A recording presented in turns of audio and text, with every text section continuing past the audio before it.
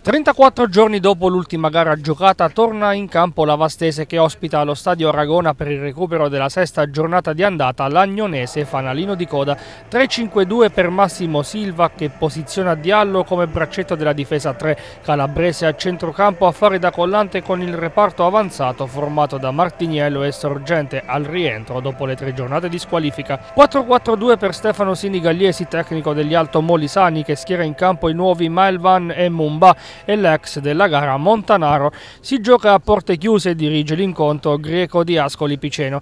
La gara degli aragonesi parte subito in salita, passaggio all'indietro sanguinoso di Gentile con Cardinale che recupera bene su Mumba, ma per il direttore di gara l'intervento è falloso e concede il calcio di rigore per gli altomolisani. Sul dischetto si presenta lo stesso attaccante che spiazza Abbazi per il primo gol stagionale del nuovo attaccante Granata. Faticano i biancorossi a carburare anche storditi dall'avvio arrembante attaccante dei Granata, ma al quindicesimo è la Vastesa a chiedere il calcio di rigore per un presunto tocco di mano ravvicinato su conclusione di Calabrese, ma in questa occasione fa continuare il direttore di gara. Buon momento per i biancorossi che si producono in una nuova proiezione offensiva al ventiquattresimo, ma la volée in area di rigore di sorgente impeccato da Valerio finisce sopra la traversa. Sembra aver cambiato passo la Vastese, ma al trentunesimo ancora un errore difensivo spiana la strada al raddoppio molisano.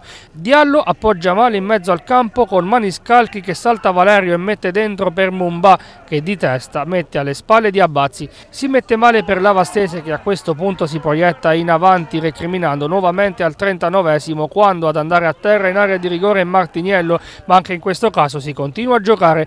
Il rigore però arriva sul finale di primo tempo quando Valerio sbuca alle spalle di Montanaro e viene atterrato dal portiere Landi. Dagli 11 metri si presenta Martiniello che con estrema freddezza spiazza Landi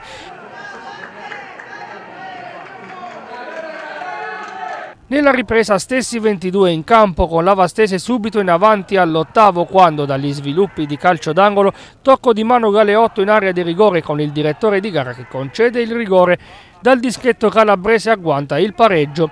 Ora la Vastese ci crede e si proietta costantemente in avanti al diciottesimo all'occasione per trovare la rete, ripartenza a centrocampo di Calabrese che mette in movimento Martiniello ma il numero 11 di casa prova la conclusione da lontano debole e centrale per impensierire Landi. Un minuto dopo ancora Vastese con Obodo che dalla distanza prima finta il destro e poi va alla conclusione con il mancino chiamando alla risposta l'estremo ospite bravo poi a rispondere anche alla successiva conclusione di Gentile. Complice la stanchezza, al 39esimo ci prova per la prima volta in questa ripresa anche l'Agnonese, ancora con Mumba, ma il tiro è debole e centrale. Negli ultimi minuti a farla da padrone la stanchezza che non permette alle due squadre di imbastire azioni pericolose in avanti. Dopo 4 minuti di recupero finisce 2-2 allo stadio Aragona di Vasto con la squadra di Silva che può recriminare per delle disattenzioni difensive che ne hanno compromesso il risultato. Domenica prossima Covid permettendo Vastese ancora in campo contro la Priglia per il recupero della quinta giornata. Abbiamo bisogno di morale, eh, siamo partiti con grande difficoltà e ci abbiamo messo tempo, però adesso siamo una squadra che ha ancora delle difficoltà, però siamo una squadra, una squadra che sta sul campo, che ci sa stare, che comunque sa dove eh, deve lottare, dove si può giocare. Mm, il primo tempo il fatto di essere passati in vantaggio così presto comunque ha condizionato l'andamento della partita perché loro si sono riversati. Noi abbiamo preso un po' di paura a mio parere e questo è normale vista la classifica. Nel secondo tempo invece nel momento che pensavo andassimo più in difficoltà incredibilmente a mio parere abbiamo fatto meglio.